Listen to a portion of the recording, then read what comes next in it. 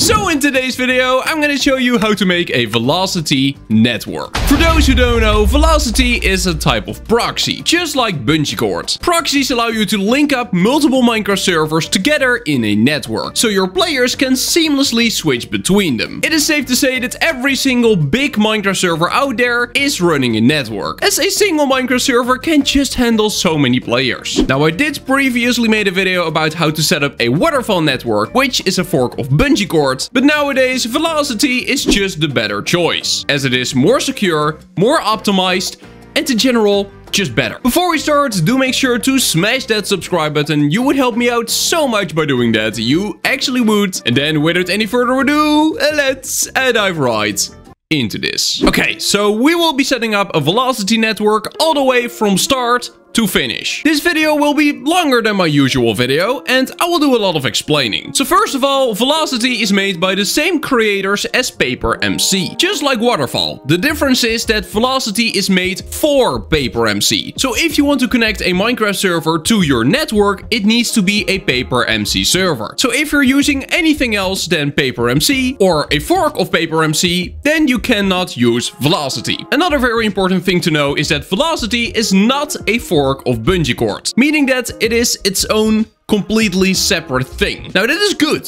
because BungeeCord wasn't really a safe way to run a network. The downside is though that you will not be able to use BungeeCord plugins on a Velocity server, while you could use BungeeCord plugins on a Waterfall server. This means that Velocity actually needs its own completely separate plugins. Luckily for us, nowadays most plugin developers that make plugins for proxies also make a Velocity version, so I don't really think you have to worry about that. Also very good to know is depending on where you create your network, everything might look a little bit different. So I'm hosting my Minecraft server at Alienhost, who is a channel partner, and today I will also be making this network on Alienhost. If you're running your Minecraft server on another host, or maybe on your local PC, then everything will look a little different. But everything will work pretty much the same. Now, if you want to check out Alienhost for yourself, there will of course be a link in the description of this video. And if you use code KASAISORA, you can get a whole 20% off your order. So do make sure to check them out. I've been using them for a long while now and the performance is just absolutely incredible. Anyway, with all that being said,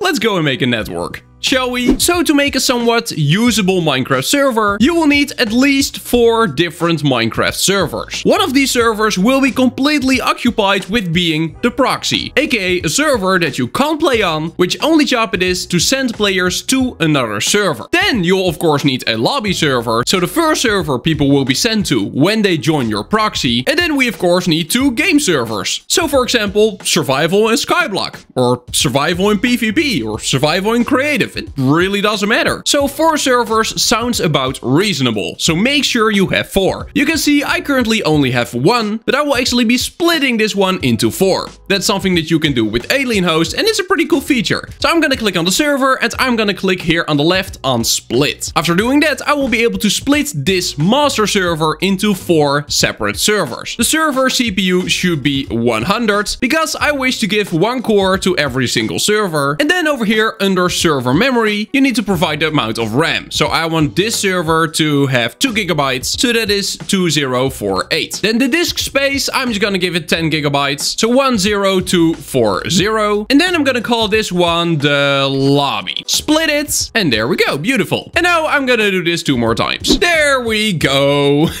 so we got the test server, this is gonna be my proxy, and then we got the lobby, survival, and PvP. So when we now go back to home, you can see we got four servers. Now you might be wondering how much RAM does a proxy actually need? The truth is not that much. You can see I currently still got 4 gigabytes left on this server which is way overkill for a proxy. You can better spend that RAM on one of your other servers. With half a gigabyte or one gigabyte of RAM, you will have enough for many, many players. Of course, everything changes if you're gonna run a lot of plugins on your proxy. So the next step will be downloading Velocity and PaperMC. So let's start off with Velocity. A link to PaperMC's website can of course be found down below. Over here, you simply want to click on Velocity and then we're gonna download the newest version. So just click over here and there we go. Then you want to go back this time click on paper and let's just download the newest version of PaperMC. So first, let's start with installing the proxy. You want to go to the Minecraft server you want to dedicate as your proxy and then you want to locate your files, wherever that may be. Now if it is a brand new server, then you probably don't have any files here. I do because this server has been here for a while, so I'm just gonna delete everything here. There we go. And then I'm gonna drag velocity inside. Now I will be renaming this file to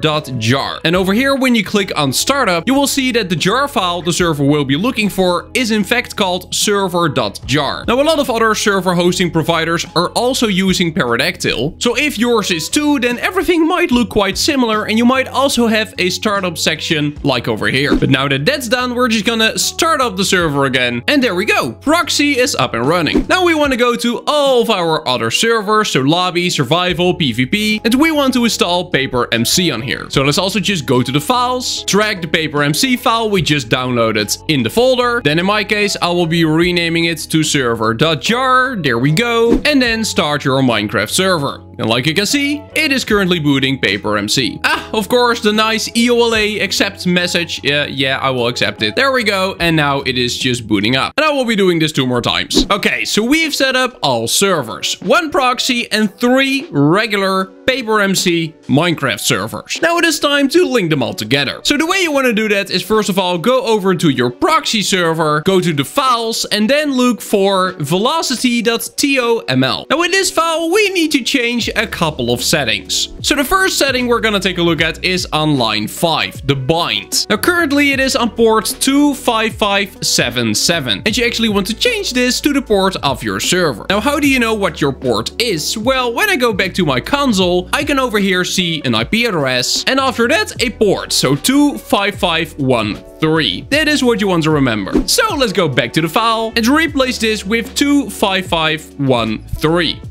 There we go. Now over here you can change your MOTD, so basically the message that will appear inside of your Minecraft server list. You can set it to anything you want.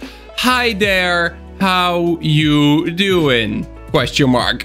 then you want to specify the max amount of players. I'm gonna set it to 10. Next, we got online mode. So shoot your Minecraft server, check if an account that is joining is legitimate. I would always recommend keeping this on true. If you do set it to false, your Minecraft has a very high risk of getting hacked and in general compromised. As anyone will be able to join your Minecraft server, even if they don't own a legit version of Minecraft. Now, if you want to run a cracked Minecraft network, which I do have to say is against Minecraft's terms of service, but I know there are a lot of people who are still playing cracked Minecraft, and if you want to make a cracked network, then this needs to go on false. Now let's scroll down for a little bit and take a look at this section. So over here you need to specify what method you want to use to forward IP addresses. So you got either none, legacy, BungeeGuard, or modern. Now for those who don't know what BungeeGuard is, I made a whole separate video about that and I will link it as a card on this video if you're interested. Legacy is the same system they were using with BungeeCord, which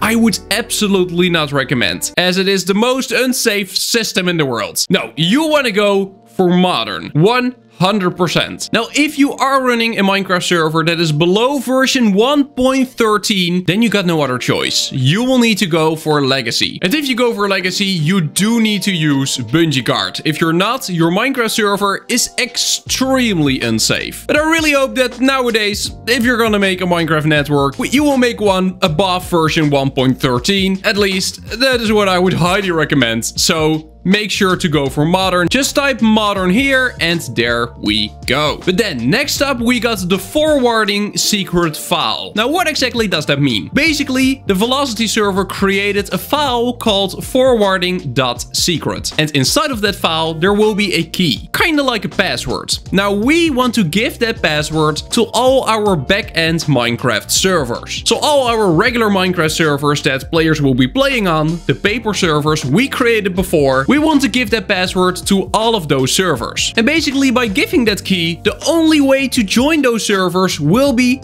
through our Minecraft proxy. And that is exactly what we want. Because otherwise, players will be able to join those backend servers through another proxy. And because backend servers all have their online mode on false, that is just extremely unsafe. Now we will take a look at this in a bit. First, let's actually add our servers. So over here, you want to add all of your Minecraft server that you want in your network. So currently we got lobby, factions, and minigames. I'm gonna change this to lobby, survival, and then PvP. As over here, you want to put the IP addresses of those servers. Now over here, we got my lobby server, and this right here is your IP address. Now over here at Alienhost, you don't see the simple digits that you're used to, but instead you will see an easy to remember domain. Now this is great for just a simple single Minecraft server, but if you're actually gonna make a network, then we of course want to know the IP address where this domain name leads to. So I will simply ping the domain through this website. I will leave a link down below, and this is the IP address that we want to be using. So I'm simply gonna copy this, go back to the velocity config and paste the IP in there. Then you want to type a colon and your port, which in my case is 25547. Now this you want to do for all of your servers. Now mine are all running on the same system, so I can just paste this IP address in three times. There we go. And then the only thing I have to add is the ports. So 25581 for survival and 255 7 for PvP. Now then next up we got the server join priority, basically. So in what order should we try servers when a player logs in or is kicked from a server? So currently it's only set to lobby, meaning that as soon as a player tries to join our network, they will be sent to lobby. If they can't join lobby, they will just be kicked and can't join. But let's say you don't want that to happen. Let's say you have a second lobby, or if the lobby is offline, you want players to immediately immediately go to survival. That is something you can do. Simply add a comma, a space, then just copy this whole section and then change this to survival. So now if the lobby is offline for whatever reason, the server will attempt to send the players to survival. If that one is offline, then they will be kicked. And you can of course also add PvP to this or let's say if you have six lobbies, then you just add all of your lobbies here. Now the last option over here is forced host. So this basically allows you to make a specific join domain per server. So that players can, for example, directly join your lobby server or directly join your faction server, stuff like that. Now, I won't be using this today at all, but it is very important to remove everything over here. Otherwise, your server will uh, not like it.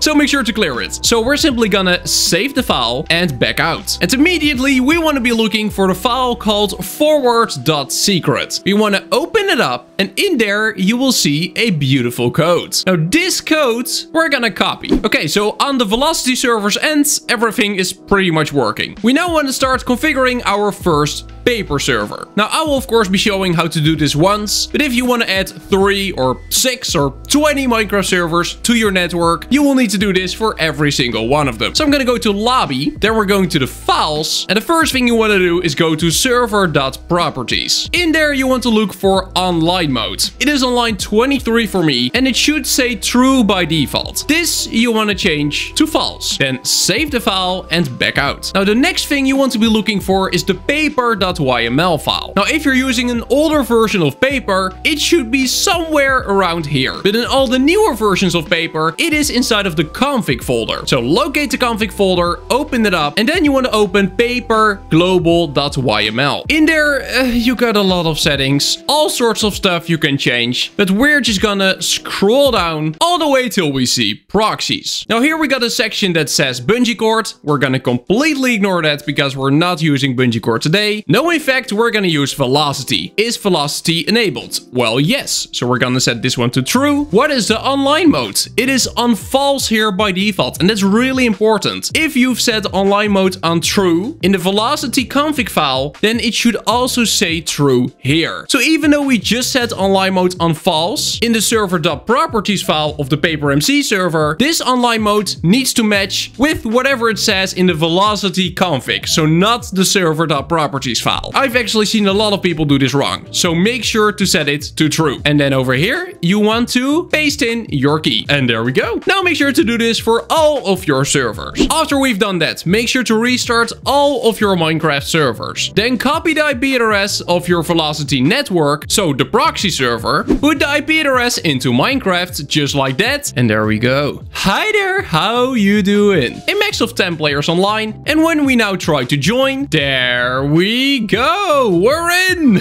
We've officially joined our Velocity network. Now, it might just look like a regular Minecraft server, and it is. We're currently in the lobby server, but by typing the command slash server, and then, for example, survival, we will be taken to the survival server. So there we go. We're now in survival. Also night here. I know, it looks like the exact same server, but believe me, it's a different one. And then we can also do server PvP, and that, of course, also works. There we go. Three Minecraft servers all connected to the same network. Okay, believe it or not, we're done. We've successfully set up a velocity network. And you and your players will now be able to switch between the lobby, survival and PvP without leaving the network, which is freaking awesome. Now even though the network has been set up, I'm not done yet. Because I'm gonna show you some other essential things you should definitely do with your Minecraft network to just make the whole experience a lot better. This includes installing some plugins. And that is what we will be starting with. So the first plugin we're gonna install is LuckPerms. And we actually want to install two separate versions. The Velocity version and the Bukkit version. Now with the Velocity version, you will only be able to manage Velocity permissions. So if you install plugins on your Velocity server, then to manage permissions from those plugins, you will need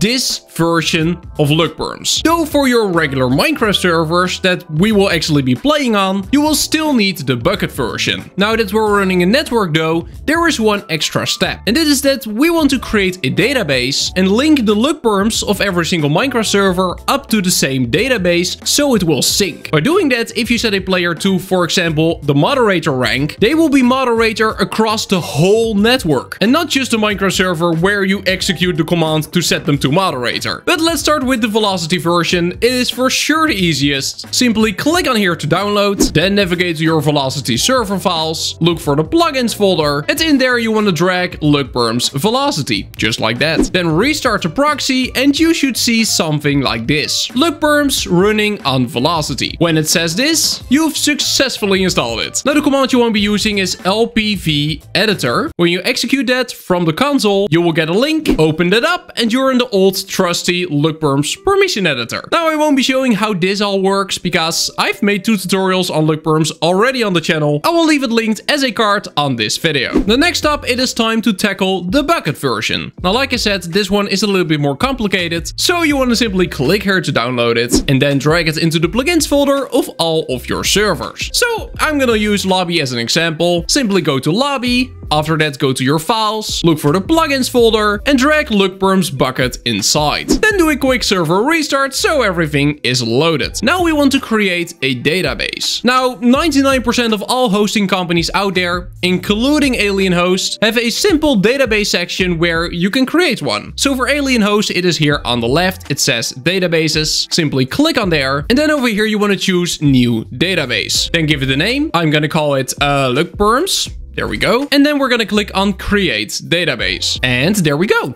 There it is. Now you want to go back to your Minecraft server directory, go to the plugins folder, and you should see a new folder called LuckPerms. Go in there and then click on config.yml. Now inside of the config, there are a few things you should change. First of all, the server. When you install LuckPerms on a non-network, this is not really relevant. Though when you're running LuckPerms on a whole network, this is really really important. I would highly recommend setting it to the name of your server. So currently I'm setting this up on my lobby server as an example. So I'm gonna set this to lobby just like that. So make sure to give every single server their respective name over here. Then you want to scroll a little bit down and here you will see the storage method. It is H2, which means local storage. Well, we don't want local storage because we want to connect our Minecraft server to a database. So I'm gonna change this to MySQL SQL. And then you want to fill in your database credentials over here. Now you might be wondering, what are my database credentials? Well, you can see those over here. So this is your address. You want to simply click on there and then paste it over here where it says address. Then the database name. That you can find over here. So simply click and paste it in there. Then you need the username. So the username can be found over here on the right. Simply click and paste it in there. And then last but not least, the password. So to get the password, you want to click on the eye icon. And then where it says password, you simply want to click to copy and paste the password in here. Now, I would highly recommend just copying this whole section. So all of this info and then pasting it in all the config files of all the LuckPermses that you installed on every single individual Minecraft server. That way, all of your backend servers will store data to the same database. And if I then change something in the lobby server, it will also be changed in the survival server and the PvP server. But you might be like, KasaiSora, my PvP server has very different plugins than my lobby server. So I don't want them to sync up. Well, there's actually a solution for that. And that is why setting the server name was so important. So let me go to the lobby. Let's type LP editor to open the online editor. There we go. And over here, we're gonna add a brand new permission in the default group. It doesn't matter which one it is. I'm just gonna grab this one as an example, bukkit.commands.help. But instead of adding it right away, we want to add contexts. So click on the plus icon over here. And then where it says key, you want to type in server. And where it says value, you want to type in the name of the server you want this permission to apply for. So in my case, that's gonna be lobby. Then click on add contexts and then click on plus here on the right.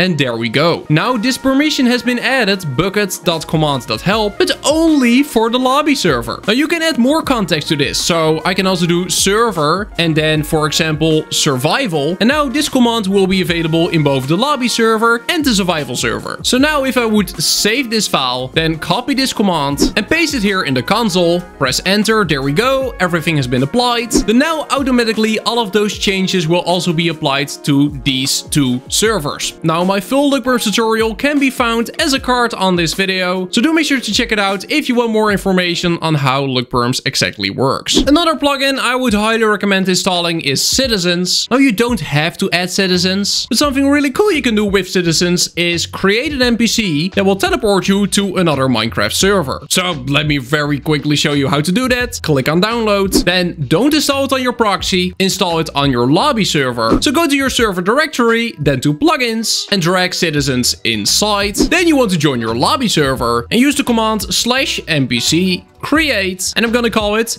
a bread shop.